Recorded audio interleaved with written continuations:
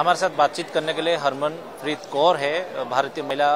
Cricket team के captain सीधा बात करते हैं। मैम कॉन्ग्रेचुलेशन फॉर योर विटी मैम क्या मैसेज देना चाहेंगे? कैसे मैच था? हम तो देखें। आ, क्या बोलना चाहेंगे मैच काफ़ी टफ गेम था बिकॉज़ ऑस्ट्रेलियन टीम ने के मैच में किसी भी मौके में हमें इजी नहीं दिया मैच और uh, हम they were fighting the last ball I think team like Sri Lanka was really well in the last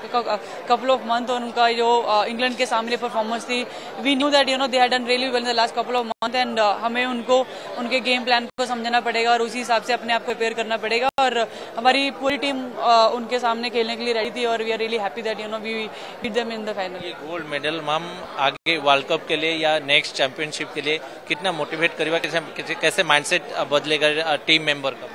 I think जाने से पहले ही जिस हिसाब से हमारी टीम के एटमॉस्फेयर था कि we we knew that we we are a strong team and हम लोग एशियन गेम्स में बहुत अच्छा कर सकते हैं और गोल्ड मेडल जीत सकते हैं। तो आई थिंक अगर वैसा एटमॉस्फेयर हम लोग वर्ल्ड कप से पहले भी क्रिएट करते हैं और वैसा ही माइंडसेट क्रिएट करते हैं सबके लिए, वो सबसे सबसे ज़्यादा इंपॉर्टेंट होगा। बिकॉज़ जब किसी भी टूर्नामेंट के लिए जाते हो और सभी सारी टीम को वैसा सोचना बहुत इंपॉर्टेंट होता है आई थिंक ये जो एटमोसफेयर हमने इस बार क्रिएट करा था आई होप जब भी हम लोग next time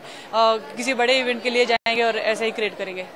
thank you sir आपन शुणुले हरमनप्रीत कौर आम सहित थे नेक्स्ट लेवल को जीवाई नेक्स्ट मैच को जीवाई निश्चित भाव मनोबल आहरी वृद्धि हे और पूरा टीम रैंडसेट बदलू एभली एक टीम जो वेदर कंडीशन रे जमी से कहते जो कंडीशन में खेलते, निश्चित भाव यह हेल्पफुल हम कैमेरा पर्सन आदित्य सहित अर्घ स्नेह